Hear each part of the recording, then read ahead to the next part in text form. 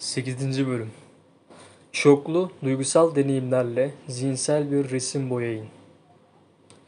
Bir açıklamayı sözler ve resimlerle anlatmak yalnızca sözlerle anlatmaktan daha iyidir. Dr. Richard Mayer Psikolog Kaliforniya Üniversitesi Santa Barbara Su ancak ona sahip olmadığınızda duygusal olarak canlılık kazanır. O zaman düşündüğünüz tek şey su olur.'' Michael Pritchard 2004'te Hint Okyanusu'nun tsunamisi ve 2005'te Katrina kasırgası olaylarından sonra taşınabilir bir su filtresi sistemi icat etmek için esinlenmişti. O olaylarda insanlar güvenli içme suları olmadığı için öldü ya da hastalandı. Pritchard, pis suyu içilebilir suya çeviren taşınabilir Lifesaver filtresini icat etti. 2009'da Pritchard icadı hakkında bir TED sunumu yaptı. 3 milyondan fazla kez izlenip her girişimcinin gıpta edeceği bir ilgi kazandı. Pritchard sunumu eski püskü giysiler içinde çamurlu bir alandan kokmuş kirli suyu çıkaran küçük bir oğlanın fotoğrafıyla açtı. Şimdi görüyorum ki hepiniz bu birkaç gün içerisinde konferansta sizin için sağlanan suyu içmektesiniz.'' Ve eminim hepiniz bunu güvenli bir kaynaktan geldiğini düşünüyorsunuz diye başladı anlatmaya.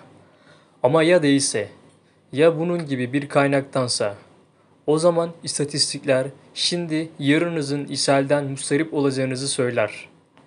Pritchard basit ama çağrıştırıcı bir fotoğrafla izleyicinin kıpırdanmasına yol açan bir istatistikle dikkatlerini hemen kazanmıştı. Ağızları açık bırakan bir an. Ve henüz yeni başlıyordu. Sunumunun 3. dakikasında Pritchard yakında Thames nehrinden aldığı suyla 3 çeyreğini doldurduğunu bir akvaryuma yaklaşır. Suyun çoğu berraktır. Sadece biraz bulanıktır. Düşünmeye başladım. Yani Bangladeş'te bir sel bölgesinin ortasında olsaydık su böyle görünmezdi. Böylece gittim ve içinde ekleyecek bir şeyler buldum. Bununla Pritchard Akvaryuma daha fazla su eklemeye başlar. Göl suyu, kanalizasyon arttığı ve gösterinin duygusal canlılığını gerçekten arttıran bir hareketle arkadaşımın tavşanından bir hediye. Pritchard bir aletle bu sudan biraz su çıkardı. Birkaç kez pompaladı ve temiz güvenli içme suyunu bir bardağa döktü. Suyu içti. Sahnenin yakınında oturan Chris Anderson da içti. Bütün deme 3 dakikadan fazla sürmedi.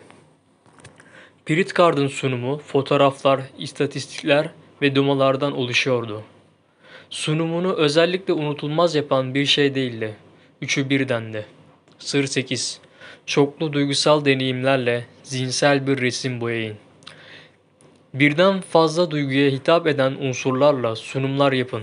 Görüntü, ses, dokunuş, tat ve doku. Koku. Neden işe yarar? Unutmayın, Beyin sıkıcı şeylerle ilgilenmez. Karşınızda büyüleyici görüntüler, çekici videolar, ilginç sahne malzemeleri, güzel sözler ve hikayeyi hayata geçiren birden fazla ses varsa sıkılmak neredeyse olanaksızdır. Kimse sizden sunumunuzda çoklu duygusal deneyimler katmanızı istemez. Ama bir kez bunu deneyimlediler mi her dakikasından hoşlanırlar. Beyin çoklu duygusal deneyimler için can atar. İzleyiciniz neden sunumunuzu sevdiğini açıklayamayabilir. Bu sizin küçük sırrınız olacaktır. Multimedya deneyimleri öğrenmeyi güçlendirir. Birkaç yıl önce Kaliforniya Üniversitesi Santa Barbara'da psikoloji profesörü ve multimedya öğretmeninin önemli destekçisi olan Dr. Richard Mayer konuşmuştum. Multimedya öğrenmenin bir kavramsal bir teorisi başlıklı bir çalışmada Mayer, kavramları açıklarken çoklu duygusal, işitsel, görsel ve kinestetik gibi girdi yöntemleri kullanmanın çok daha verimli olduğunu belirtir. Mayer'e göre kavramsal psikolojide en önemli çalışma alanlarından biri multimedyanın öğrencinin öğrenmesini nasıl geliştirdiğini anlamaktır. Mayer'in deneylerinde çoklu duygusal ortamlara, metin, resimler, animasyon ve video maruz kalan öğrenciler bilgiyi sadece okuyan ya da dinleyen öğrencilere göre bazen değil, her zaman çok daha doğru hatırlamışlardır. Mayer bu prensibin şaşırtıcı olmadığını söyler. Beynin bir açıklamanın iki zihinsel temsilini, bir sözel model ve bir görsel model kurmasına izin verildiği zaman zihinsel bağlantılar sadece biraz daha kuvvetli değildir. Çok çok daha kuvvetlidir. Dokunmayı da eklerseniz zafer sizindir. İki tür öğrenme, işitsel ve görsel arasındaki farklar izleyicinin yani bilgiyi öğrenen kişilerin malzemeye dair daha önceden bilgisi yoksa daha da çarpıcıydı. İçeriği daha yüksek bilgisi olan öğrenciler sadece dinlerken ya da okurken kendi zihinsel görüntüleri yaratabilirler. Yaptığınız en önemli sunumları düşünün. Büyük olasılıkla konuya dair düşük ön bilgisi olan kişilere yapılmıştır.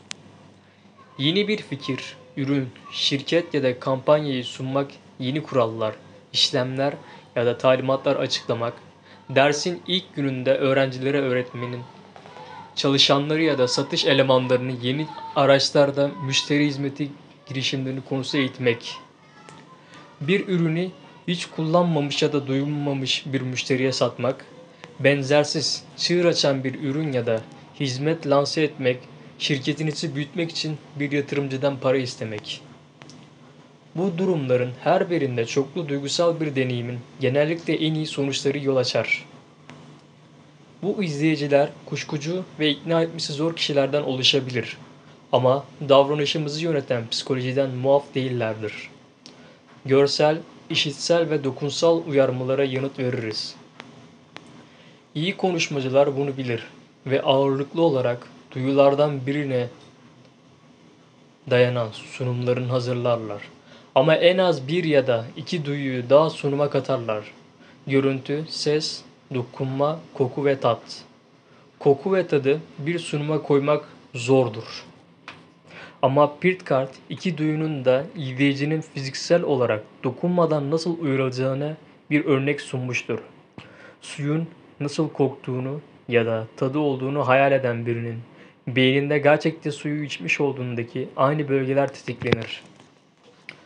Bu yüzden koku ve tadı kenarda bırakarak görüntü ve ses, dokunmaya odaklanalım. Görün. Sunum slaytlarında mümkün oldukça metin yerine resim kullanın. İzleyiciniz bilgiyi resimler ve metnin bir karışımı olarak sunulduğunu hatırlaması sadece metinde olduğundan çok daha olasıdır. Görme, bütün diğer duyuların önüne geçtiğinden bu bölümün büyük bir kısmını sunumunuzu görselleştirme tekniğine adıyorum. İzleyicinizi boyadığınız resimlerle bir yolculuğa çıkarmak kısmen sanat, kısmen de bilimdir. Fikirleriniz görsel olarak ilgi çekici görüntüleri aktarmak hakkında yaratıcı düşünmelisiniz. 30 yıldır dünyanın en iyi zihinlerini, dünyanın her yerindeki TED izleyicisini güçlü, çekici, ilham verici ve unutulmaz görüntülerle etkisi altına almıştır. Fikirlerini böyle yayarlar. Forbes.com'da liderlik iletişim hakkında köşe yazım için Sir Richard Branson'la söyleşi yapma fırsatım oldu. Branson, aklını başından alan bir sunum görüp görmediğini sordum. Yanıtı Al Gore'un küresel ısınma sunumu. Al Gore, narin gezegenimizin olağan şekilde iş yapmanın geri döndürülemez etkilerini anlattı. Kirli yakıt işlerindeki hava yolları, trenler, bir iş adamının nasıl temiz teknoloji pazarlarını açıp daha iyi iş yapma yöntemlerini başlatabileceği hakkında yapıcı bir tartışma yaptık. Bu benim Virgin'in ulaşım karının %100'ünü temiz enerjiye adamama ve daha çok şirketi insan, gezegen ve kâra eşit derecede öncelik vermeye teşvik etmeme yol açtı. Al Gore'un multimedya sunumu iklim değişikliği hareketinin ateşler.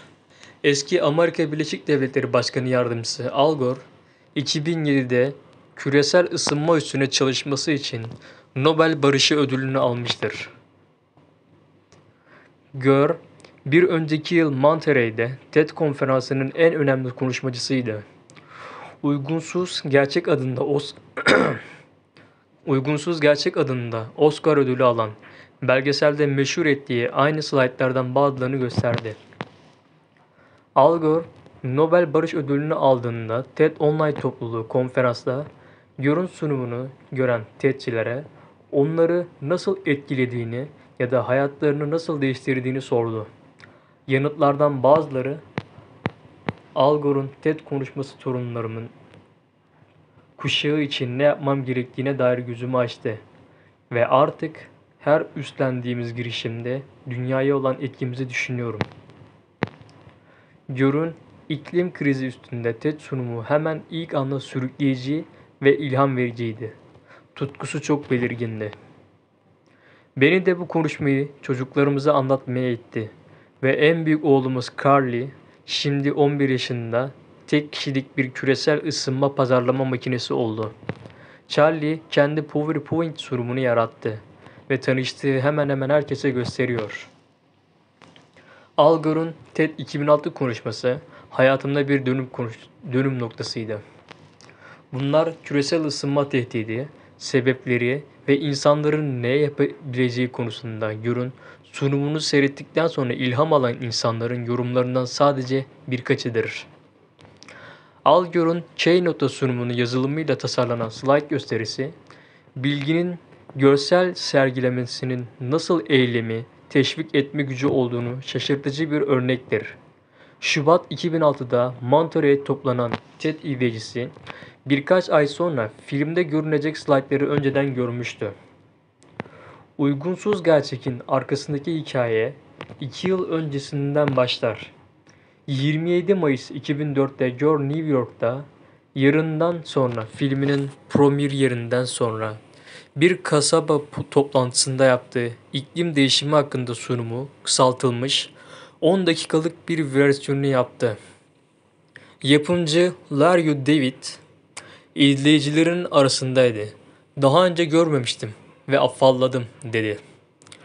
Akşam programı biter bitmez ondan New York ve Los Angeles'taki liderler arkadaşlarla bütün konuşmasının sunmam için izin vermesini istedim. Eğer tarihlere bağlı kalırsa bütün organizasyonu, organizasyonu yapacaktım. Dior'un sunumunu küresel ısınmaya dair gördüm. En güçlü ve net açıklamaydı. Ve tanıdığım herkesin de bunu görmesini sağlamaya görev edindim.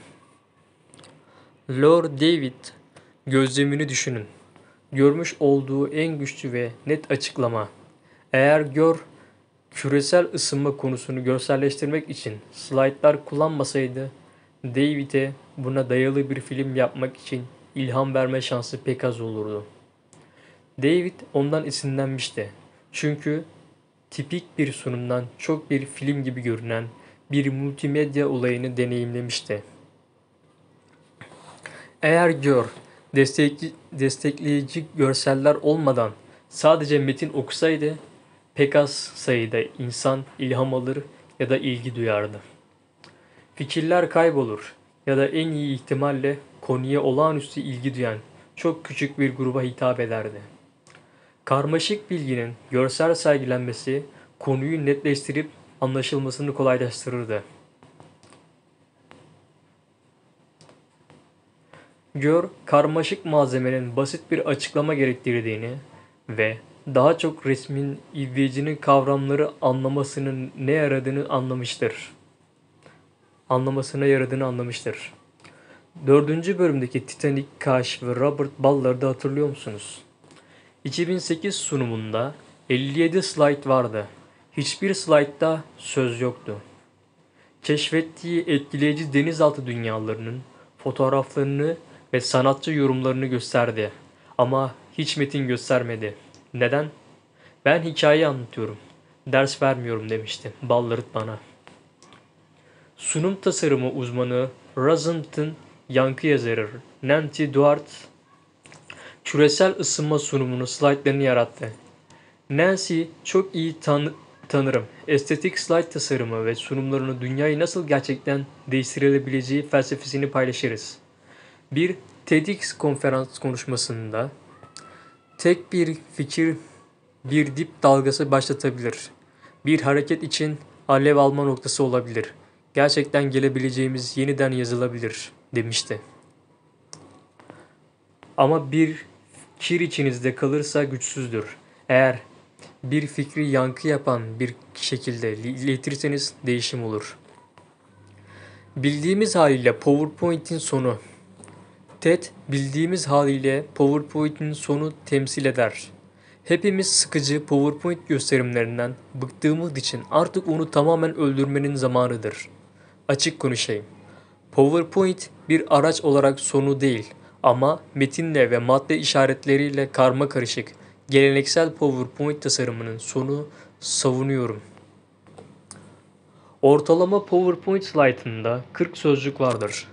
Bir TED sunumunda 40'a yakın sözcük olan bir slayt kullanmak neredeyse olanaksızdır. Ve bu sunumların dünyadaki en iyiler arasında sayılır. Brian Brown, Hastings Üniversitesi Sosyal Hizmeti lisansüstü programının araştırma profesörüdür. Daha önce tanıttığım sunumu Savunmasızlığın Gücü 7 milyondan fazla kez izlenmiştir. Brown ortalama PowerPoint'in 40 sözcükten oluştuğunu mesajını ka- kale almamıştı. Ve bu iyi olmuştu. Kalabalık slaytları temadan uzaklaştırır. Brown'un slaytları anlatıyı tamamladı. Nasıl mümkün? Olan yerde sözlerin yerine şekiller kullandı. Sonuç olarak Brown 40 sözcüğe varmadan 25 slide kullandı. Çoğu sunumunda bu tek PowerPoint slaytındaki sözcük sayısıdır.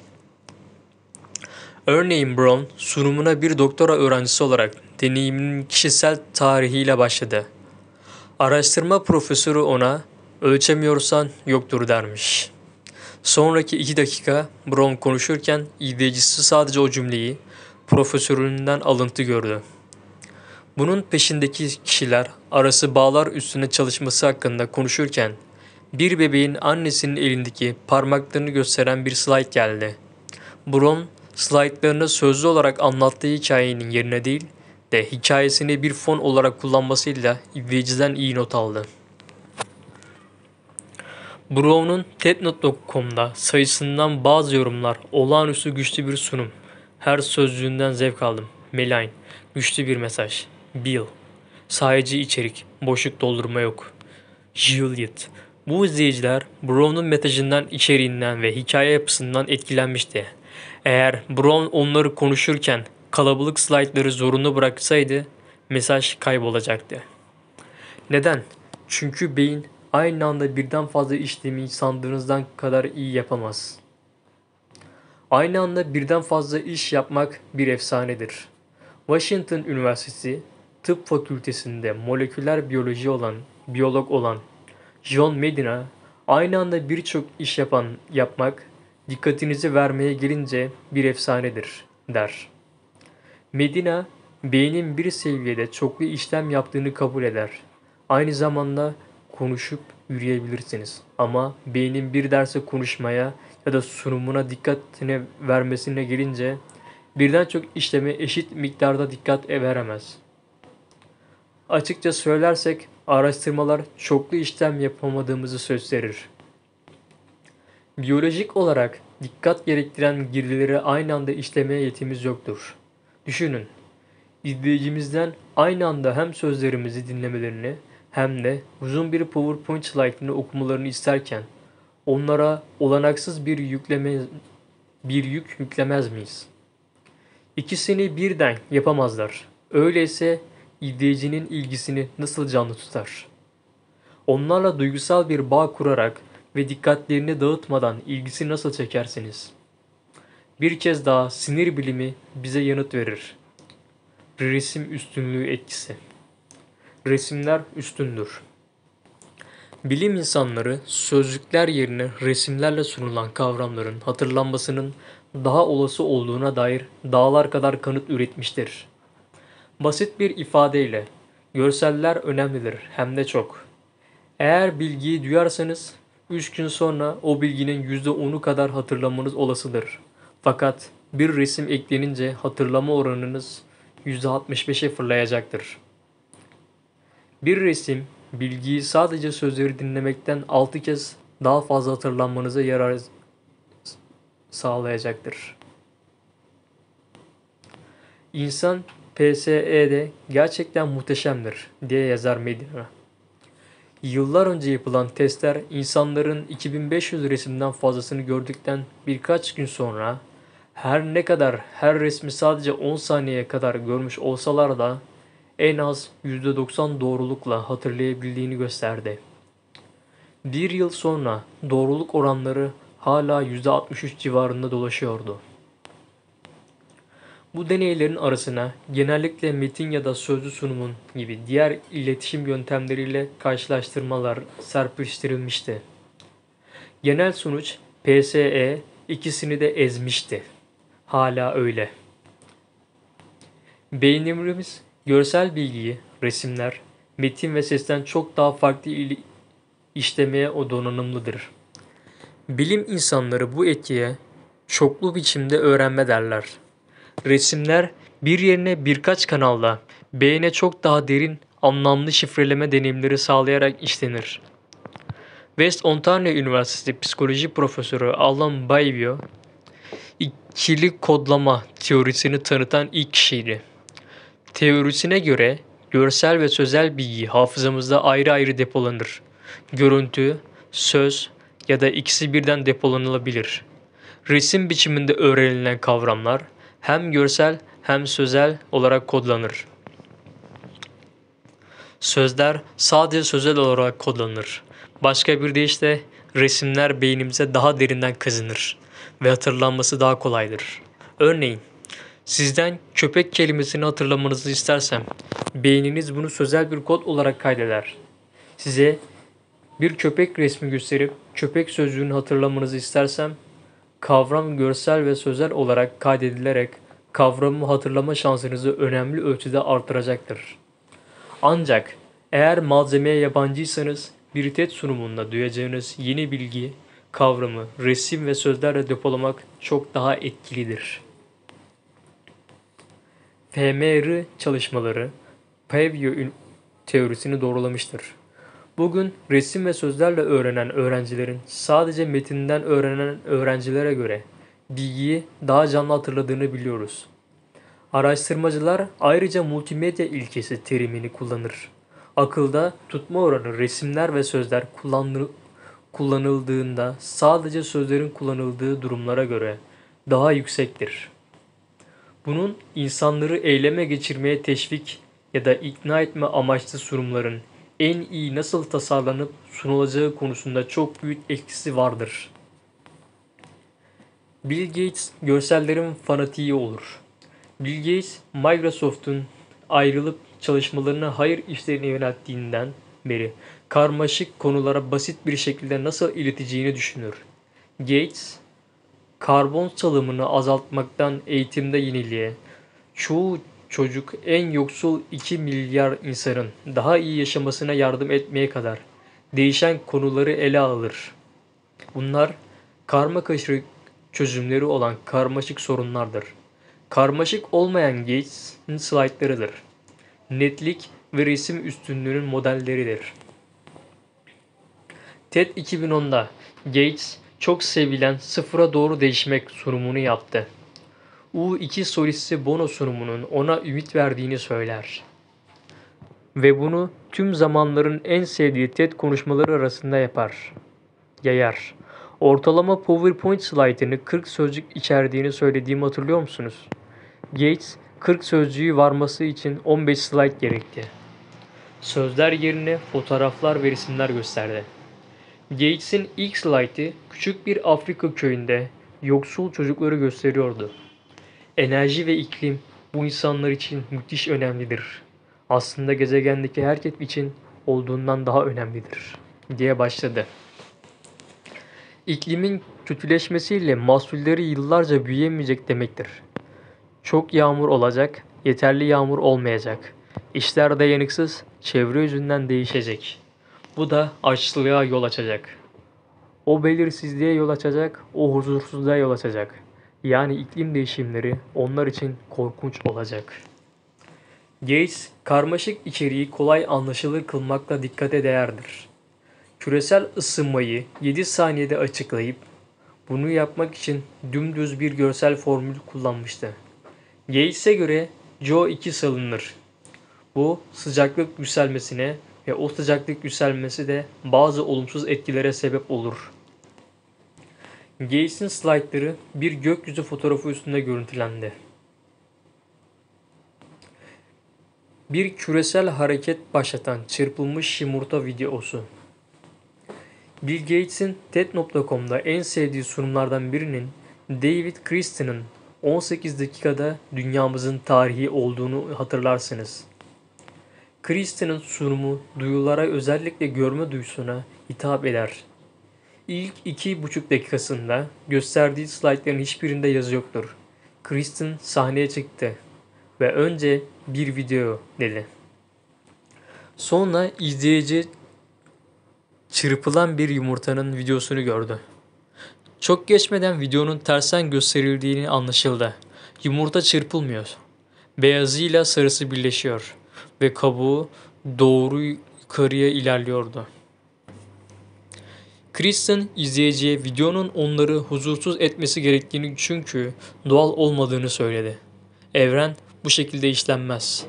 İşlemez. Çırpılmış bir yumurta bulamaçtır. Bir yumurta güzel, sofistike tavuk gibi hatta daha sofistike şeylerle düşünebilen bir şeydir. En derinlerimizde evrenin bulamaçtan karmaşıklığa yola, yolculuk etmediğini biliriz.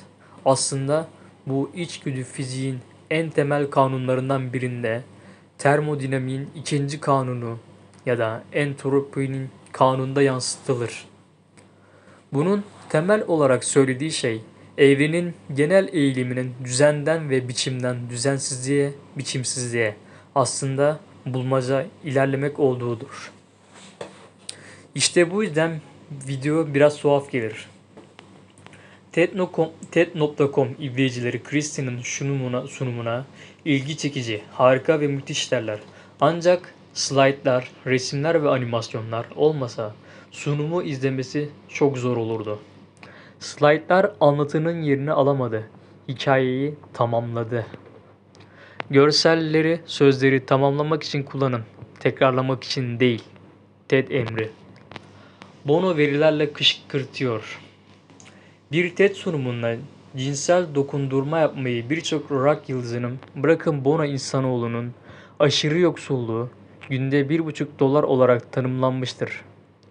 Azaltmadaki ilerlemesini gösteren verileri sunduğunda aynen bunu yaptı bel büken iç parçadan aşırı yoksulluk içinde yaşayan insan sayısı 1990'da dünya nüfusunun %43'üydü. 2000'de %33'e ve 2010'da %21'e düştü. Dedi Bono arkasında istatistikler görünürken. Günde 1,5 dolardan az da yaşıyorsanız bu düşüş sadece veri değildir.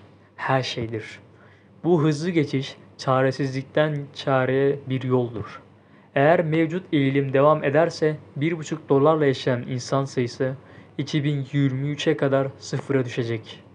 Rakamlarla uğraşan için, uğraşanlar için sıfır bölgesi erojen bölgesidir, dedi Bono, seyirci gülüp alkışlarken. Bono'nun slaytları profesyonel olarak tasarlanmıştı ve bunu hayati önem taşıyan birkaç farklı izleyici grubuna de hedefleyen yeni müşteri ya da yatırım çekmek için önemli olan bir sunum yapacak herkese öneririm. Bono'nun gösterisi TED.com'da EV'in ve bütün iyi sunum tasarımlarının ortak tekniğine dikkat edin. Slide başına bir konu. Çoğu konuşmacı verileri sunarken izleyici, sayı, grafik çığlığıyla yerle bir eder. Hepsi tek bir seferde. Bono her bir istatistiği sunduğunda rakam ve sadece o rakam slaytta görünürdü. Bono her bir veri gösterisi başına bir slide geçti. Aşırı yoksulluğun 2000 yılından beri yarıya indiğini söylediğinde slaytlar sadece aşırı yoksulluk yarıya indi yazıyordu. Rakamları ve verileri görsel olarak çekici kılmanın tekniği dinleyicilerinizin içeriğinizin arkasındaki etkileyici istatistikler fark edip önemsemelerini sağlamaktır. Bunu hayatın dünyanın yoksul insanlarının çoğu insan çoğu için daha iyi gittiğini gösteren bir rakamlar listesiyle devam etti. 2000 yılından beri hayat kurtaran ilaçlara ulaşan AIDS hastası sayısı 8 milyon arttı. Sıtma, Sahara çölünün güneyindeki 8 ülkede ölüm oranı %75 azaldı. 5 yaşın altında çocuklarda çocuk ölümleri yılda 3 milyon azaldı. Bu her gün 77.256 çocuğun hayatının kurtulması, de, kurtulması demektir.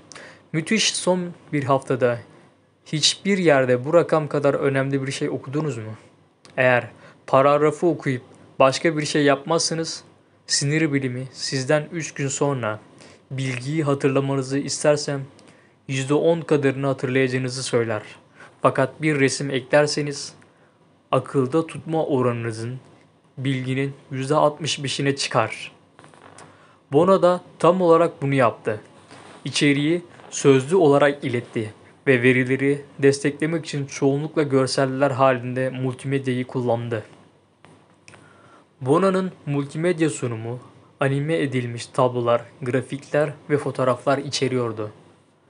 Tablolarınızın ne kadar temiz sunulursa sunulsun, birilerinin gözleri tablo üstüne tablo gösteren slaytları şöyle bir geçecektir.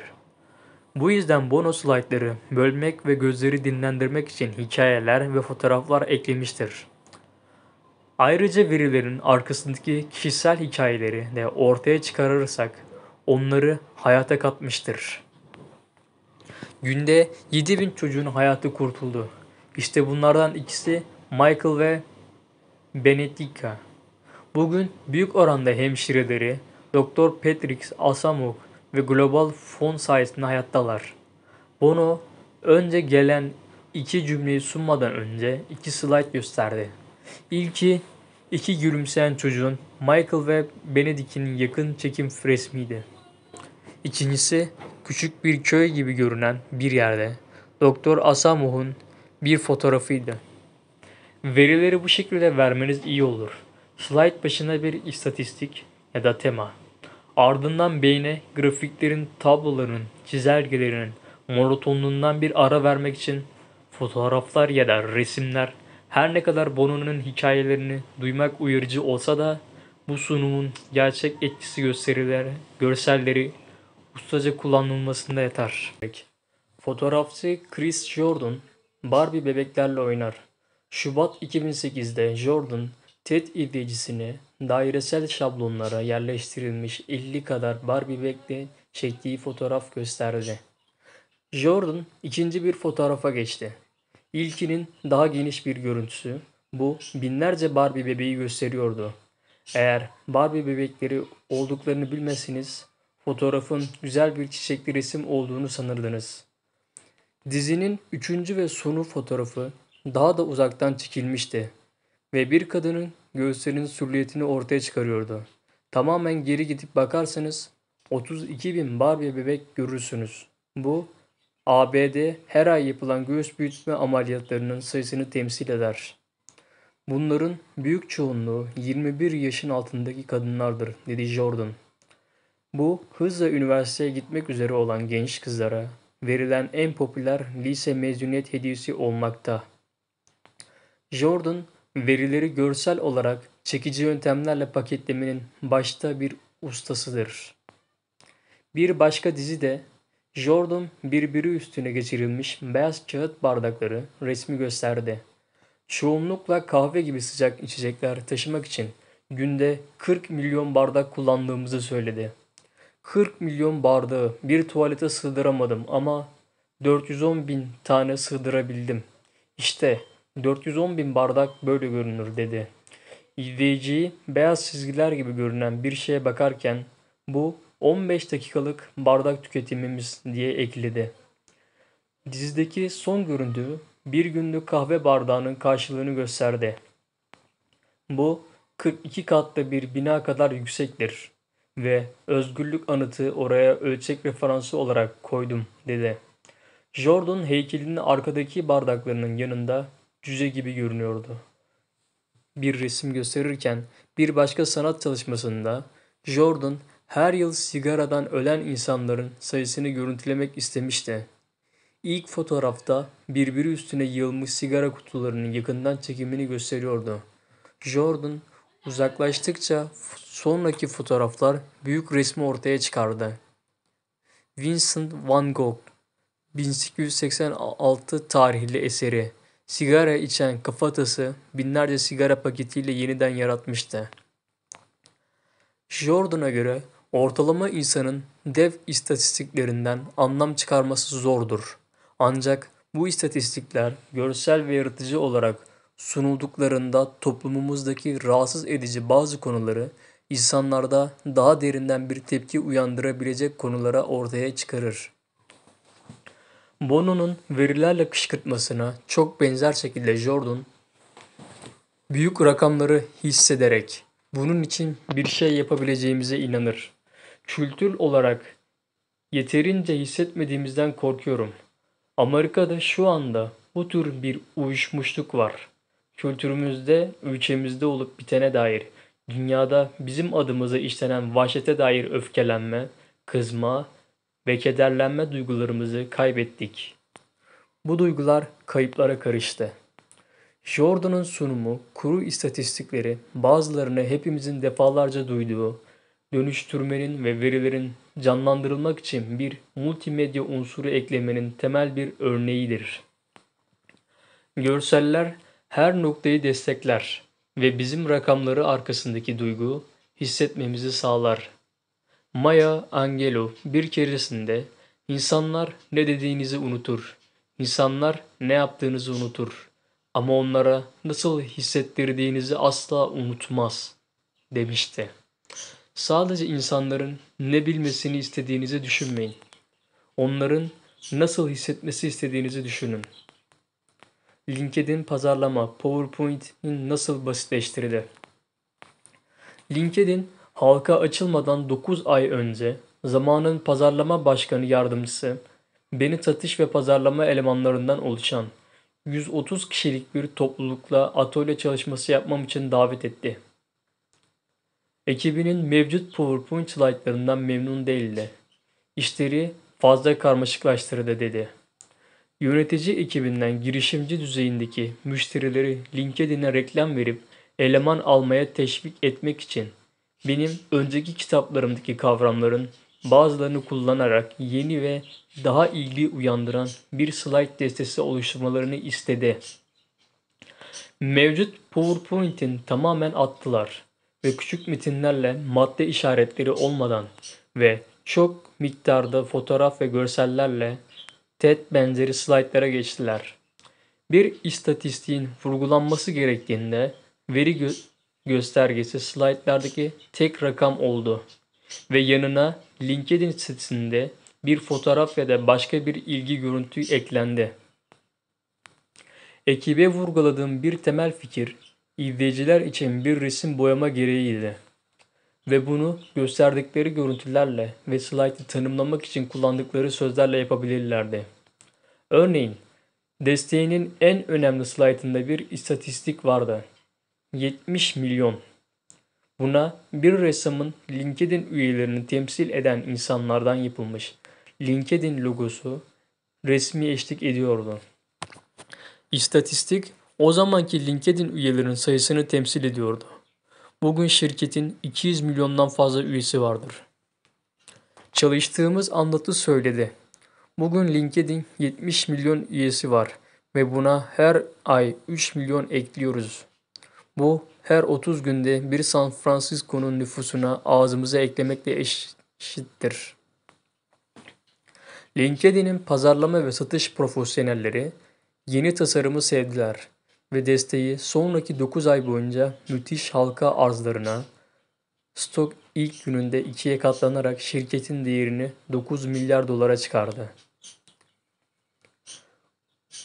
Dünyanın en beğenilen markalarının çoğunun CEO'ları ve satış pazarlama yöneticileri eski PowerPoint sunumlarını atıp yerine izleyicilerinin görsel bir yolculuğa çıkaranları koyuyorlar.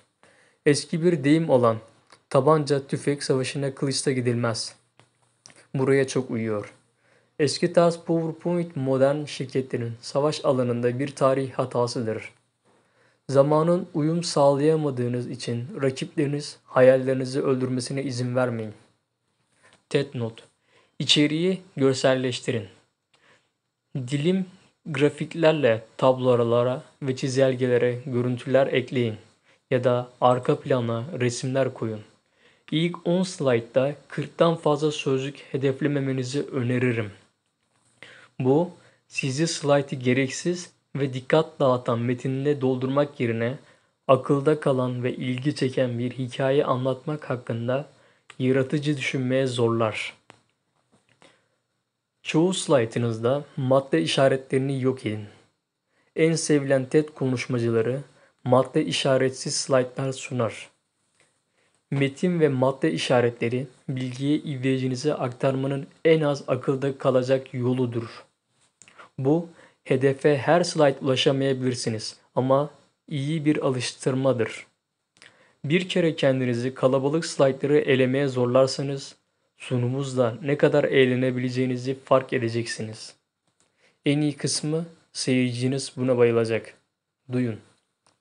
Görmek en baskın duyumuzken aynı anda çoklu duyularımız uyarılınca bilgiyi çok daha iyi hatırlarız.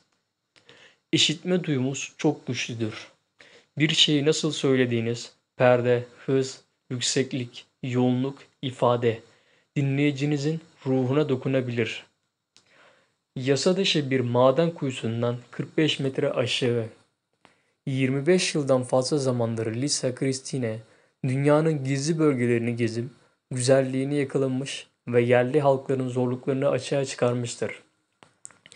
TEDx konuşmasına bakalım ve izleyicilerine ulaşmak için sözlerini nasıl kullandığına odaklanalım.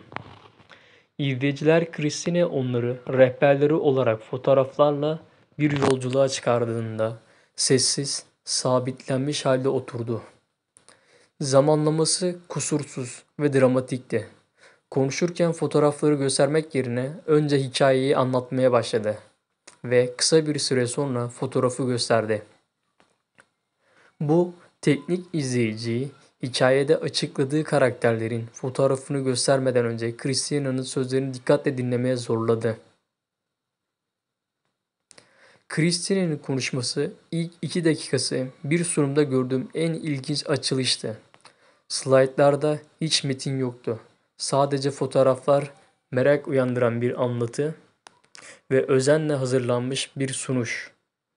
Fotoğraflar izleyicisinin görsel duyusuna hitap etse de esas işi bitiren sesini nasıl kullandığıydı. Dinleyiciniz işitme duyusunu uyararak yapacağınız etki görselleri kullanmak kadar etkili olabilir. Sözlere resim boyamak.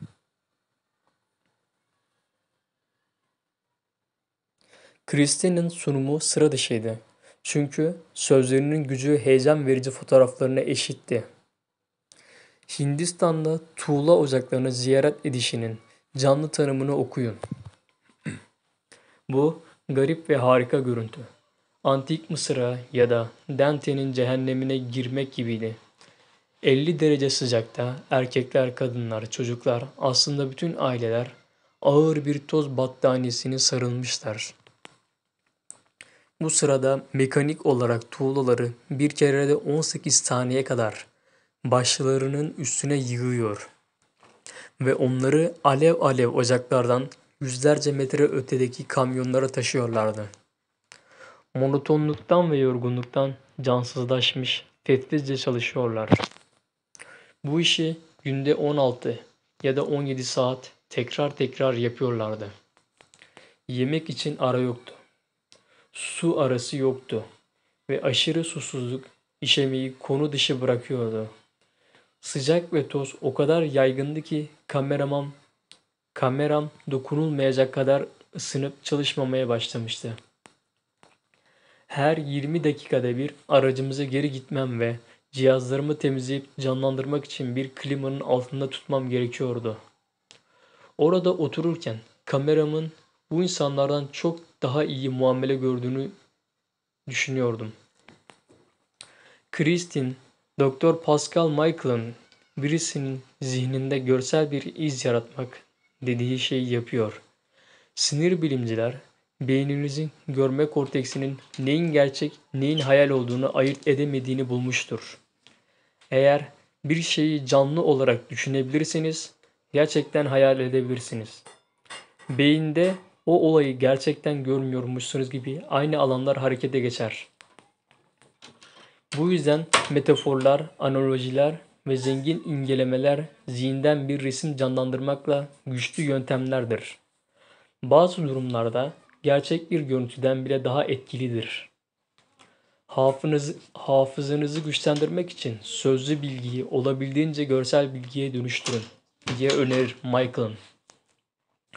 Bunu görsel desteklerle ya da konuşma şeklinizde birinin kafasında bir resim boyamak için kullandığınız örneklerle yapabilirsiniz. Michael'ın iletişimcilerinin olabildiğince somut örnekler kullanmasını önerir.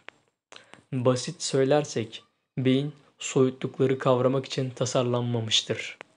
Satış tekliflerinde bile müşterilerinizi zihin gözüyle resmedebilecekleri bir duruma getirmek için somut örnekler kullanın. Bu satış stratejinizi tanımlamak için soyut sözler kullanmaktan çok daha etkilidir. Resimleri sözlerden daha iyi hatırlarız. Bu yüzden eğer ben konuşurken sizin görsel imgelemeler yaratmanıza faydam oluyorsa o bilgiyi sadece soyut sözcükler kullanarak anlatmamdan çok daha iyi hatırlayacaksınız der. Hiç resim olmadan zihinsel bir resim boyamak. Beyin gerçekte gördüğüyle hayal ettiği arasında farkı bilemez. İkinci bölümde tanıştığınız sakatlanan cross kayakçı Jenen Steepert, TEDx izleyicisinin için bir resim boyadı ve bunu yapmak için bir tek bir slide ya da fotoğraf göstermedi. Hikayeyi anlatırken Steepert, kış olimpiyatlarını hazırlanan Avustralyalı kayak takımının bir üyesi olarak hayatını değiştiren bir bisiklet gezisi yapıyordu. Çağrıştırıcı ve tanımlayıcı sözler kullanarak izleyicisini bisiklet yoluna götürdü. Sydney'nin batısında muhteşem mavi dağlara doğru yukarı gidiyorduk. Mükemmel bir sonbahar günüydü. Güneş ışığı, okalip, okaliptus kokuları ve bir rüya hayat güzeldi.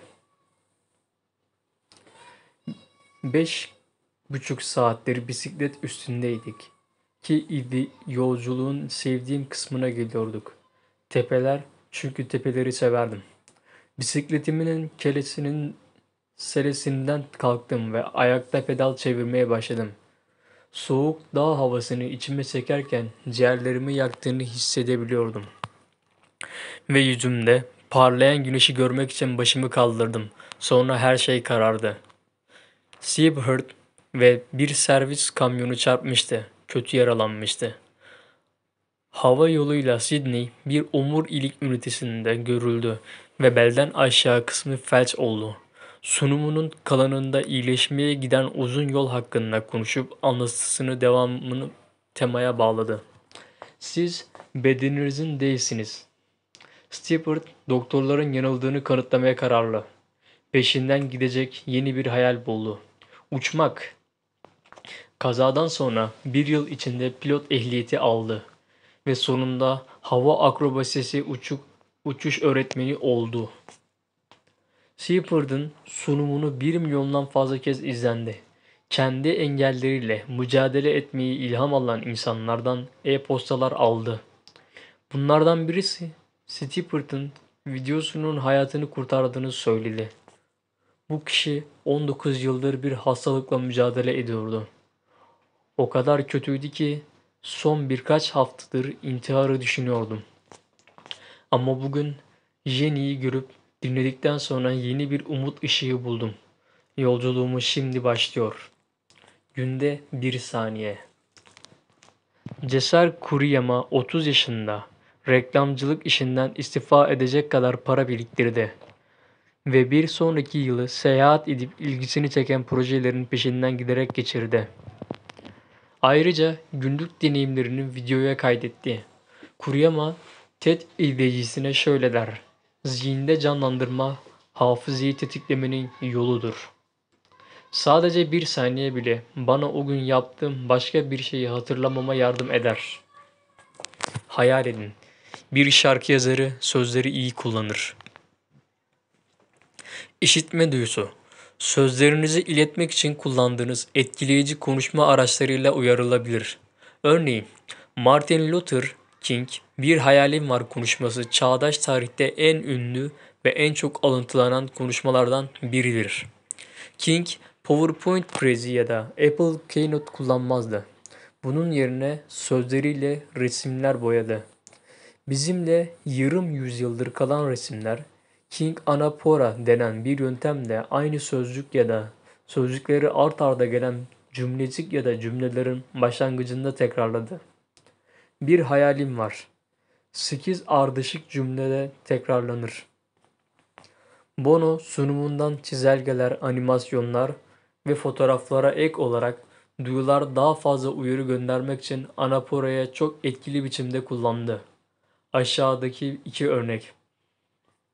Gerçekler de insanlar gibi özgür olmak ister. Ve özgür oldukları zaman bağımsızlık hemen oradadır. En yoksulun yoksulluğu için bile gerçekler eylemsizliğe yol açan kinimize ve ilgisizliğe meydan okuyabilir. Gerçekler neyin işe yarayıp neyin yaramadığını bize anlatarak onları düzeltebilmemize sağlar. Gerçekler duyarsak ve dikkat edersek Nelson Mandela'nın 2005'te bizim insanlık için en korkunç bedel olan aşırı yoksulluğun üstesinden gelen kuşak, o büyük kuşak olmamız için yaptığı çağrıya yanıt verilebilir. Valgonim'i düşünüyorum. Çahir'de Tahrir Meydanı'nın arkasında Facebook gruplarından birini kurmuştu. Bunun için hapse atıldı. Beynime onun sözlerinin dönmesini yaptırdım. Kazanacağız çünkü politikadan anlamıyoruz. Kazanacağız çünkü onların pis oyunlarını oynamıyoruz. Kazanacağız çünkü bir parti politik gündemimiz yok. Kazanacağız çünkü gözlerimizden gelen yaşlar gerçekle kalplerimizden geliyor. Kazanacağız çünkü hayallerimiz var ve ve bu hayaller için direnmeye gönüllüyüz. Val haklıydı. Kazanacağız. Bir olup direnirsek çünkü insanların iktidarı iktidar insanlardan çok daha güçlüdür. Son paragrafı ilettiğinde Bono'nun hiç slaytını görmediğini not etmek önemlidir. İzleyicinin işitme duyusuna, sözlerine odaklanmasını istedi.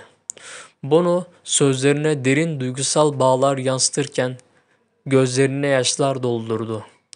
Güçlü, iyi hazırlanmış sözler hepimizde derin duygular uyandırmakta etkilidir. Bir slide o anda eksiltebilirdi. Bono TED izleyicisinden ayakta ve şiddetli alkış aldı. Boşuna değil, sözleriyle duyularını uyandırdı. Üç kişi ve bir bilgisayar bir adamın sesini güçlendirir. Sesim ve Nisan 2013'te hayatını kanserden kaybeden film eleştirmeni Roger Ebert, Mart 2011'de binden fazla kişilik bir TED izleyicisine konuştu. İzleyici, Ebert kucağında bir Mac'le bir sandalyede otururken dijitalleştirilmiş bir sesten ''Bunlar benim sözlerim ama bu benim sesim değil. Bu Alex bulabildiğim en iyi bilgisayar sesi ve her Macintosh'da standart donanım olarak geliyor.'' diye duyurdu. Kameranın önünde 10 yıllardır deneyimi olan bir film eleştirmeni olarak film yapım sanatı hakkında derin bilgisi kadar Ebert izleyicinin dikkatini canlı tutmanın ne kadar zor olduğunu da biliyordu. Ve gizli bir numarayla hazır geldi. Çoklu duygusal bir işitme deneyimi. İzleyici Ebert'ın dijital sesle konuşmasını bir dakikadır dinliyordu ki Uzun bir süre bilgisayar sesini dinlemenin tek düzey olabileceğini keşfettim. Bu yüzden bazı TED arkadaşlarımı sözlerimi benim yerime yüksek sesle okumak için görevlendirmeye karar verdim. Sahneyi Ebert'la üç başka kişiyi paylaşıyordu. Hepsi yanındaki sandalyelerde oturuyordu. Eşi Jazz, Dean Ornish ve John Hunter çok etkileyici bir 18 dakika.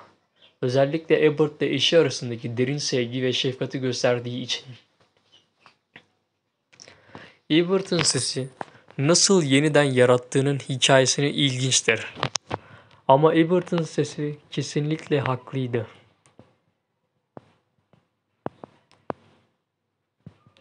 ...18 dakika boyunca dijital bir ses dinlemek tek düzedir. Bu yüzden onun için konuşacak bir değil, dört bilgisayar dahil kişi seçti. Çoklu duygusal, birden çok ses içerir. Ebert'ın dijital bir sesi dinlemenin tek düze olduğunu söylemesinin ironik bulurum. Çünkü pek çok konuşmacı tek düze bir tonda konuşur ve Ebert'ın bilgisayardan çıkan sesinde çok daha az canlıdır. 7. bölümde 18-20 dakikalık bir sunumun 60 dakikalık bir sunumdan her zaman üstün olduğunu söylemiştim. Ana konuşmalarımın çoğu bir saattir kadar sürer. İki yüzlülük mü ediyorum? Hiç değil. Ebert'ın yaptığı gibi ben de sahneyi paylaşıyorum. Sunumlarımda ilham veren ve liderlerin video kliplerini aracılığıyla birden çok ses sunuyorum. Video bana iki duyu bir anda dahil etme fırsatı veriyor. Görme ve işitme. Hissedin. Hissedin. Bir sunumun en arzulanan hedefi izleyiciyi başka bir yere götürmektir. Bilginin görsel sergilenmesini izleyicinin göz görmesini sağlar. Ama eğer izleyici bir şeye fiziksel olarak dokunamıyorsa yolculuğa nasıl tamamlayacağız? Tekrar Broadway şovu gibi bir sunum düşünün. Ödül kazanan bir şovun harika bir hikayesi, ilginç karakterleri ve ilişki sahne malzemeleri vardır. İyi sunumlarda bu unsurların her biri bulunur. İzleyiciye olay yerinde olmanın nasıl olduğunu hissettiren basit sahne malzemeleri dahil. Bir müzisyen tek nota çalmadan ayakta alkışlanır. Punk rock şarkıcısı Armando Palmer'ı 3. bölümden hatırlarsınız. Palmer'ın TED 2013 videosu internette konduktan sonraki bir hafta içinde 1 milyondan fazla kez izlendi. Palmer'ın teması basit ve kolay anlaşılırdı. İnsanlara müzik için para ödemeyin, ödetmeyin. Dijital içerik zaten ulaşılır ve paylaşılabilir olduğuna göre Palmer sanatçılarının fanlarından doğrudan destek istemesini önerir. Onun sunumunu izleyen çoğu insan büyük olasılıkla sokaklarda zorluk çeken bir müzisyen olarak hayatı deneyimlemiştir. Ama Palmer onları oraya götürür. Tek kelime etmeden. Palmer sahneye yürüdü ve yere bir süt kasesi koy kasası koydu. Kasaya çıktı, sol kanından bir tül indirdi ve sağ eliyle bir çiçek, uzak, çiçek uzattı. Yavaş yavaş iki nefes içine çekti. Birkaç saniye hareketsiz durdu ve konuştu. Hayatımı her zaman müzikten kazanmadım. Saygın bir Beşeri İlimler Üniversitesi'nden mezun olduktan sonra 5 yıl kadar süreyle günlük işim buydu. 2,5 metrelik gelin adında serbest çalışan yaşayan bir heykeldim. İnsanlara işimin bu olduğunu anlatmayı seviyorum. Çünkü herkes her zaman bilmek ister. Bu kaçıklar gerçek hayatta kimdir? Merhaba. Kendimi bir gün beyaza boyadım. Bir kutunun üstüne çıktım. Ayağımın ucuna bir şapka ya da teneke koydum. Ve gelip para atanları bir çiçek verip onlarla yoğun göz temasında bulundum. Çiçeği almazlarsa uzaklaşmalarına kadar bir hüzün ve özlem ifadesiyle durdum. Palmer'ın sunumunun ilk 3 dakikasını yaparken kasanın üstünde durup deneyimlerini ve ona para veren insanları tekrar yaşadı. Bu kutunun üstünde ne kadar mükemmel gerçek bir müzik eğitimi aldığıma dair hiçbir fikrim yoktu.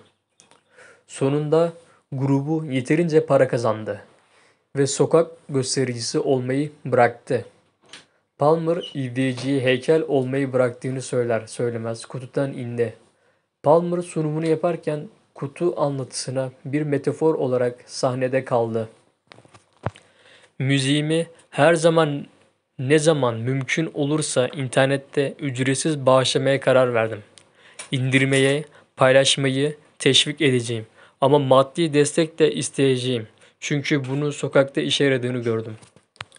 Müzik kariyerim kutunun üstünde yaptığım gibi internette insanlara karşılaşmaya çalışarak sadece tur tarihlerim ve yeni videom hakkında değil, sanatımız, korkularımız, akşamdan kalmalıklarımız, hatalarımız ve birbirimizi nasıl gördüğümüz hakkında blog ya da tweet yazarak geçti. Ve bence birbirimizi gerçekten gördüğümüzde birbirimize yardım etmek isteriz. Palmer'ın sunumu şu meydan okumayla bitirdi. Bence insanlar yanlış soruyla saplantılı. Yani insanlara müzik için nasıl para ödetiriz? Peki insanların müzik için para ödemesine nasıl izin veririz? Diye sormaya başlasak. Teşekkür ederken Palmer'ın sunumunu açmak için kullandığı çiçeği çıkardı. Seyircileri uzattı ve attı. İzleyiciler ayağa fırlayıp 15 saniye ayakta alkışladılar. Müzisyen Palmer hayatının gösterişini yapmıştı ve bir nota bile çalmamıştı. Palmer'ın videosunun yayınladığı TED.com sayfası bir haftada 500'den fazla yorum aldı. Jody Murray Bu konuşmayı beğenmemem isteyen, beğenmemek isteyen kendi şüpheci iç sesimden hayal kırıklığına uğradım. Sonunda zaten beğenmemek mümkün değildi. Harika bir sunum ve böyle güzel fikirlerini gerçekleşmesine harika bir örnek. Hiç güzel ama gerçekleşmiş fikirlerin olduğu harika bir iş sunumunu gördüğünüzü hatırlıyor musunuz?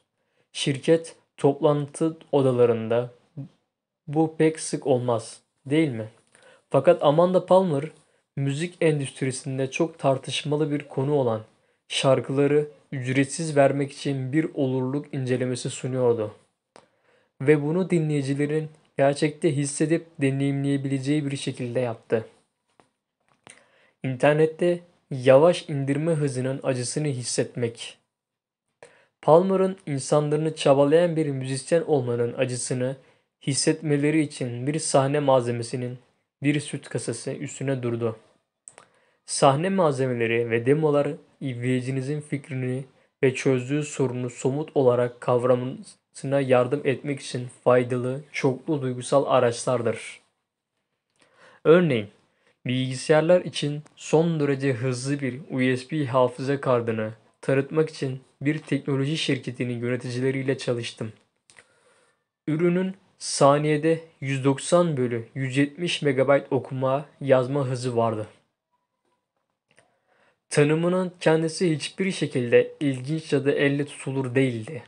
Ancak basit bir demo ile izleyicinin kendi mevcut acısını hissetmesi ve yeni ürünü kullanarak duyacakları sevinci o acıyla karşılaştırmalarını için bir yol bulduk. Kısa bir girişten ve ürün açıklamasından sonra konuşmacı sahnenin soluna yürüdü. Orada göğüs hizasında bir masada bir dizüstü bilgisayar duruyordu. Cebinden yeni ürünü bir USB hafıza kartı çıkardı.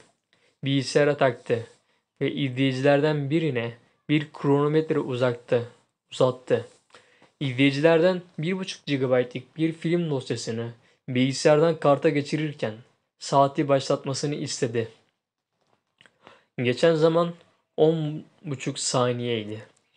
Sonra izleyiciden saati tekrar başlatmasını istedi ve bu kez dosyayı bir rakip ürününü kullanarak transfer etti. Tek kelime etmeden yönetici ve izleyiciler transfer oluşunu seyrettiler, beklediler ve beklediler. 40 saniyeden fazla bir süre sonra transfer tamamlandı. Bütün USB hafıza kartları eşit yaratılmamıştır diye sonuca vardı yönetici. Eğer gösteri sırasında konuşsaydı izleyiciler için zaman daha hızlı geçerdi. Bunun yerine sessiz kılıp yavaş indirme hızının acısını uzattı. Kuş tüyü ve pürmüz çakmağı. Ben bir pediatrist ve anestezistim. Yani para kazanmak için çocukları uyuturum.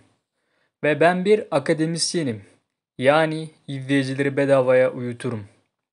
Stanford'da Pickard Çocuk Hastanesi'nde ağrı yönetimi servisini yürüten Dr. Elliot Crane 2011'de TED sunumunu böyle açtı. Ağrı genellikle bir sorunun belirtisidir. Bazı çocuklar için ağrı geçmez ve hastalık olur. Crane, TED izleyicisine bu tür ağrının nasıl olduğunu ve nasıl tedavi edildiğini göstermeden önce onlara nasıl hissedildiğini göstermek istediğini açıkladı. Kolunuzu bu kuş tüyüyle okşadığımı hayal edin.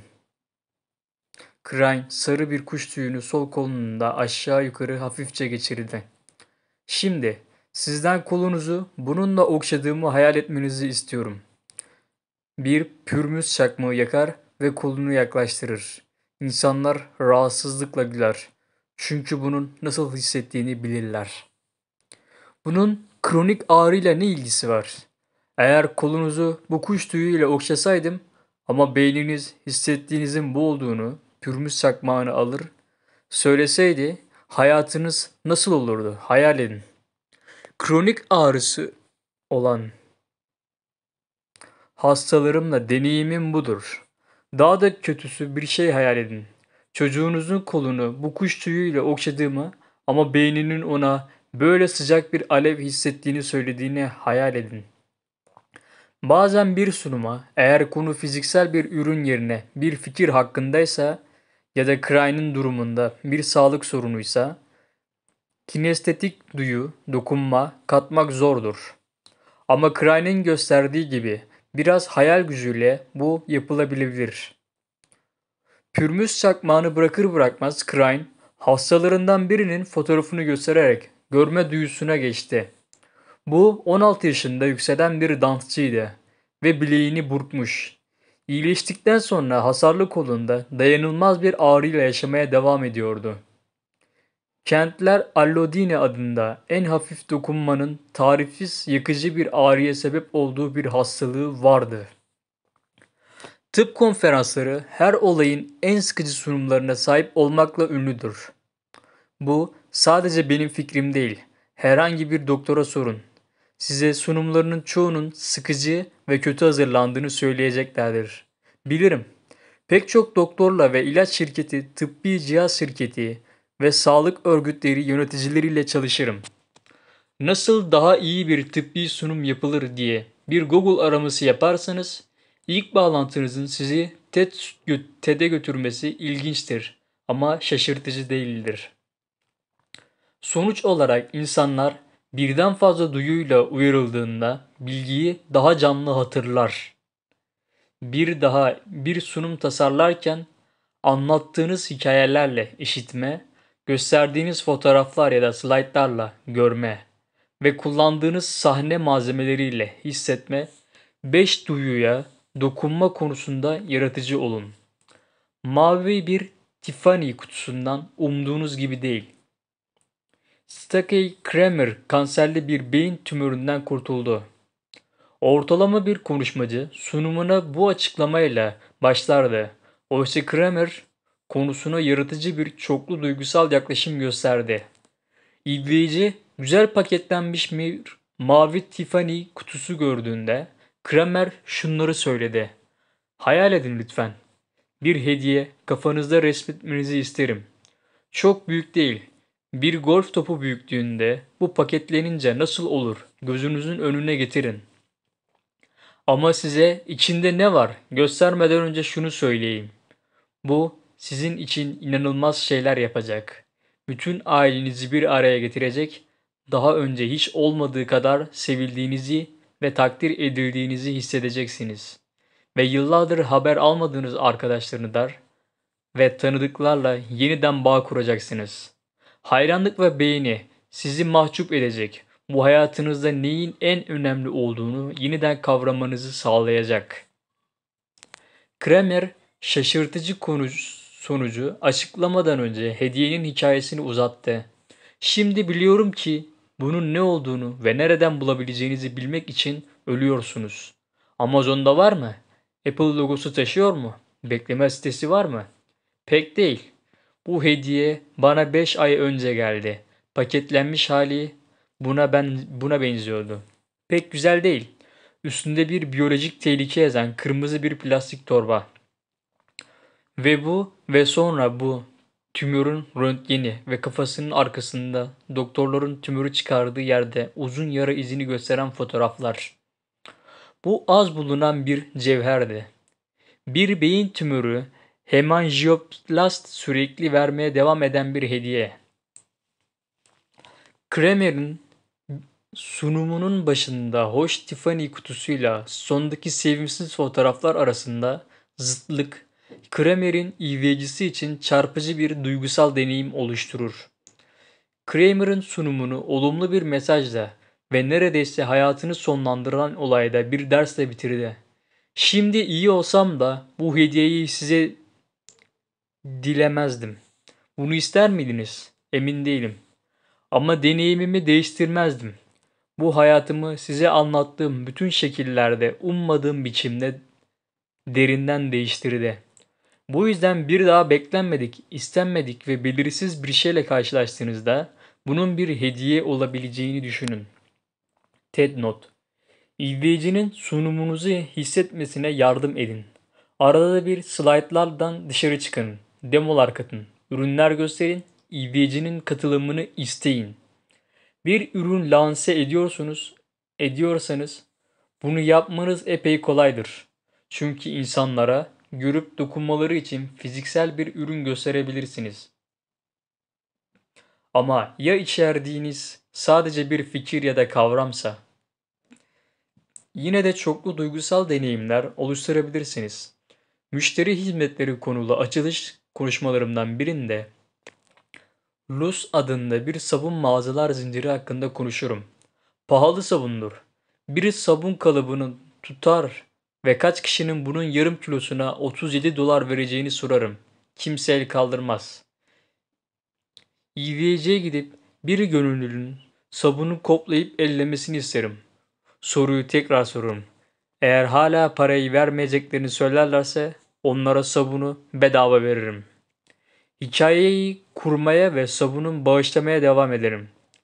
Çok geçmeden izleyiciler sabun hakkında daha çok şey öğrendikçe ödemeye daha da yaklaştıklarını fark ederler. Bu izleyiciyi olaya katarak marka iletişimini ve müşteri hizmetini geliştirmelerine yardım etmenin eğlenceli bir yoludur. Sır 8. Çoklu duygusal deneyimlerle zihinsel bir resim boyayın. Kramer'in yaptığı cesaret isterdi. Ve işte bu yüzden her gün iyi bir sunumlarla göremezsiniz. Görmezsiniz. Hikayenizi bir 7. sınıf öğrencisinin anlayabileceği kadar basitleştirmek cesaret ister. Bono'nun yaptığı gibi üstünde tek sözcük olan bir slide oluşturmak cesaret ister. Slaytlarınızı madde işaretleri ve metinle doldurmak yerine fotoğraf göstermek cesaret ister.''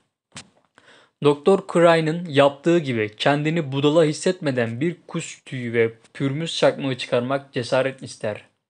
Amanda Palmer'ın yaptığı gibi metafor olarak bir süt sandığının üstünde 3 dakika durmak cesaret ister. Cesaret dikkat çeker. Cesaret fark edilir. Cesaret yürekleri ve zihinleri kazanır. Cesaret hayatınızın konuşmasını yapmak için ihtiyacınız olan şeydir. Cesaretiniz olduğunu biliyorum. Onu bulun, kutlayın ve keyfine varın. Topluluk önünde cesur konuşma hayatınızı ve sizi dinleyen insanların hayatını değiştirecektir. Görülmesi, hissedilmesi ve duyulması için var olan fikirleriniz vardır. Sesinizi insanları şaşırtmak, ilham vermek ve dünyayı değiştirmek için kullanın.